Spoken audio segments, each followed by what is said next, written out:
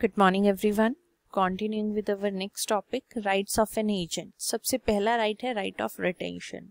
जो एजेंट है, उसके पास राइट right है कि वो रिटेन करके रख सकता है अपने पास जो भी सम उसको ड्यू है इन रिस्पेक्ट ऑफ़ एडवांसेस जो भी उसने किए हैं या एक्सपेंसेस इनकर जो भी उसने किए हैं. किसमें से? जो भी अमाउंट उसे रिसीव हो रही है on account of principal in the business और वहाँ, उसमें से वो डिडक्ट कर सकता है इवन जो भी उसे कमीशन ड्यू है. देन राइट टू रेमनरेशन जो एजेंट है, वो इंटाइटल है रेमनरेशन के लिए, जो भी वो सर्विसेज़ प्रोवाइड करवा रहा है, उसके लिए। लेकिन जो एजेंट है, वो इंटाइटल्ड होगा अपनी रेमनरेशन के लिए, सिर्फ़ तब जब वो जो भी एक्ट उसे दिया गया था, वो उसने कंप्लीट कर लिया है और रेमनरेशन उसे पेबल बनता है। लेकिन जो एजेंट जो गिल्टी है किसी मिसकंडक्ट का वो एंटाइटल नहीं होगा किसी भी तरीके की रेमनरेशन के लिए in respect of that part of business then right of lien जो एजेंट है, उसके पास राइट right है of particular lien on the property of the principal जो एजेंट है, वो एंटाइटल है रिटेन करने के लिए गुड्स को पेपर को अदर प्रॉपर्टी को, जो प्रिंसिपल ने रिसीव की है बाय हिम अनटिल जो अमाउंट ड्यू थी जो एजेंट को, वो उसे पे नहीं की गई है प्रिंसिपल के through then right to be indemnified जो एजेंट है, वो इंटाइटल है कि उसे इंडेमनीफाई करेगा प्रिंसिपल अगेंस्ट ऑल जो भी कॉन्सिक्वेंसेस उसके लॉफुल इफेक्ट्स के हो रहे हैं, जो उसने किए हैं as a representatives of principal then right to compensation जो एजेंट है, अगर उसे इंजरी हो जाती है due to negligence of principal तो उसके पास राइट है कंपनसेशन का जो प्रिंसिपल उसे करेगा। देन नेक्स्ट आता है हमारा procedure for becoming an agent section 42 जो है इंश्योरेंस एक्ट 1938 का वो एप्लीकेबल होता है for licensing of an agent IRDA जो है, वो अथॉरिटी है for issuing of licenses in India क्या प्रोसीजर है? इंश्योरेंस एजेंट बनने के लिए किसी भी इंश्योरेंस कंपनी का। सबसे पहले प्री रिक्विजिट आपको सेटिस्फाई करने पड़ेंगे। कोई भी पर्सन जो एजेंट बनना चाहता है, उसको क्या प्री प्रीरिक्विजिट्स को फुलफिल करना पड़ेगा? वो मेजर होना चाहिए 18 ईयर से अबव का होना चाहिए साउंड माइंड का होना चाहिए। ट्वेल्थ पास होना चाहिए या इक्विवेलेंट एग्जामिनेशन जहाँ पर अगर वो रिप्रेजेंटेटिव uh, मतलब एजेंट का काम करना चाहता है जहाँ पर जो पॉपुलेशन है वो 5000 या 5000 से ज़्यादा है। टेंथ हो, पास होना चाहिए या इक्विवेलेंट एग्जामिनेशन जहाँ पर पॉपुलेशन लेस देन 500 है एज पर लास्ट सेंसिस और गिल्टी नहीं होना चाहिए किसी भी criminal breach of trust cheating forgery misappropriation और attempt to commit any offence का। देन डिस्कालिफिकेशन क्या है? uh, जो आईआरडीए है वो डिक्लाइन कर सकता है किसी को भी लाइसेंस ग्रांट करने से under section 42 sub section 4 of insurance act 1938 अगर इनमें से जो हम पॉइंट्स अभी कर रहे हैं कोई भी जो सिचुएशन है वो अराइज है तो फ़र्स्ट है कि जो पर्सन अगर माइनर है अगर वो अनसाउंड माइंड का जो है वो पाया जाता है by a court of competent jurisdiction और गिल्टी पाया जाता है क्रिमिनल मिस अप्रोप्रिएशन का या क्रिमिनल ब्रीच ऑफ़ ट्रस्ट का चिटिंग का फॉर्जरी का अबेटमेंट का या attempt to commit any such offence by a court of competent jurisdiction लेकिन अगर उसे पाँच साल पास हो चुके हैं इस चीज़ से जो कंप्लीशन उसका सेंटेंस जो से सजा दी गई थी उसको तो ये जो कंडीशन है उसके ऊपर अप्लाई नहीं होगी। अगर वो गिल्टी है नोइंगली uh, पार्टिसिपेट किया है उसने या कन्वेंट किया है कोई फ्रॉड डिसऑनेस्टी या misrepresentation against an insurer और एन इंश्योर और उसके पास या रिक्वेस्ट क्वालिफिकेशन नहीं है प्रैक्टिकल ट्रेनिंग नहीं है for a period not exceeding twelve months in case of a company और फॉर्म अगर जो पार्टनर्स हैं या जो डायरेक्टर्स हैं या डेजिग्नेटेड ऑफिसर्स हैं, उनके पास रिक्विजिट क्वालिफिकेशन नहीं है प्रैक्टिकल ट्रेनिंग नहीं है। या वो वायलेट करते हैं code of conduct as prescribe by IRDA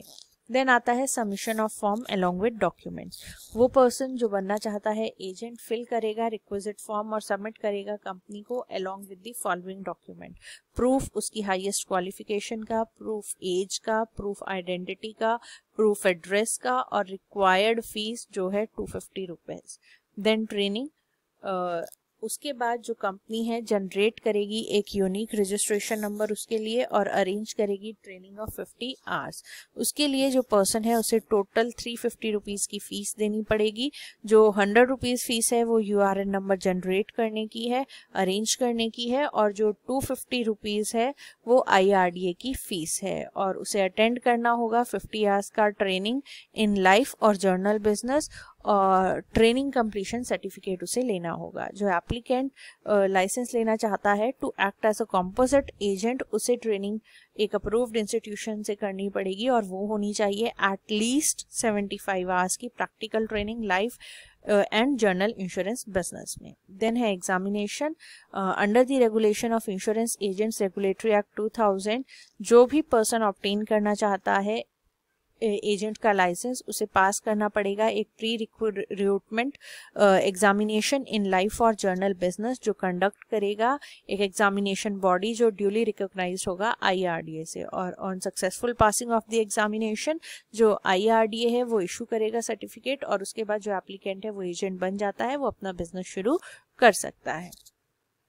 then है duration of license and renewal of license एक लाइसेंस जो I R D A issue कर रहा है, वो वैलिड रहता है for a period of three months जिस डेट से वो इशू हुआ है उससे. And from the date of issue जो पर्सन है वो एलिजिबल है to act as an agent of life insurance और जर्नल इंश्योरेंस और एज अ कॉम्पोजिट एजेंट जो लाइसेंस है, आप उसे रिन्यू करवा सकते हैं। स्पेसिफाइड फ़ीस दे के वो कितनी है? वन ट्वेंटी फाइव रुपीज़ है। अगर आप एप्लीकेशन देते हैं, जिस डेट को आपका जो पहला सर्टिफिकेट है लाइसेंस है, वो ख़त्म होने वाला है, उससे तीस दिन से पहले। टू ट्वेंटी फाइव रुपीज़ अगर आप एप्लीकेशन दे रहे हैं इन बिटवीन तीस दिन पहले और जो एक्सपायरी डेट है, वो। सपोज़ अगर हम कहते हैं कि थर्टियथ अप्रैल आपकी एक्सपायरी डेट है। अगर आप थर्टी फ़र्स्ट मार्च से पहले अप्लाई करते हैं तो फ़ीस लगेगी वन ट्वेंटी फाइव लेकिन अगर फ़र्स्ट अप्रैल से आप तीस अप्रैल के बीच में अप्लाई करते हैं तो एप्लीकेशन फ़ीस लगेगी two twenty five rupees then at seventy five rupees application अगर आप कर रहे हैं after the expiry of license and up to one years later generally जो रिन्यूअल एप्लीकेशन है after the expiry of date वो refuse हो जाती है। लेकिन जो अथॉरिटी है, अगर वो सेटिस्फाई है रीजंस जो भी एजेंट दे रहा है उससे तो जो लाइसेंस है, उसको रिन्यू किया जा सकता है। जो स्पेसिमेन एप्लीकेशन का है न्यू या रिन्यूअल ऑफ़ लाइसेंस के लिए, वो आपके यहाँ पे दिया हुआ है। Application for a license renewal of license to act as an insurance agent apply आप किसे करते हो? आईआरडीए को department of licensing New Delhi और यहाँ पर ये जो एप्लीकेशन है यहाँ पर आप उसे बोल रहे हो कि अगर आपने न्यू लाइसेंस लेना है या फिर अगर आपका पुराना लाइसेंस है, उसका नंबर यहाँ पे आप लिख रहे हो एक्सपायरी डेट लिख रहे हो, उसे फर्दर रिन्यू करवाना चाहते हो आप थ्री इयर्स के, अगर आप रिन्यू करवाते हो तो वो भी अगेन थ्री इयर्स के लिए ही होता है। इशू भी थ्री इयर्स के लिए होता है, उसके बाद रिन्यू करवाना है तो वो भी थ्री इयर्स के लिए होता है। देन आपके पर्टिकुलर्स उसने मांगे हुए हैं। Name father name full address date of birth title ever held a license then license number date of expiry apply for license to work for a life insurance insurer या journal insurer या both if you are an applicant from a rural place या फिर educational qualification आपकी particular pre recruitment test जो conduct हुआ था उसके तो ये सारी इंफॉर्मेशन जो है वो आपसे यहाँ पर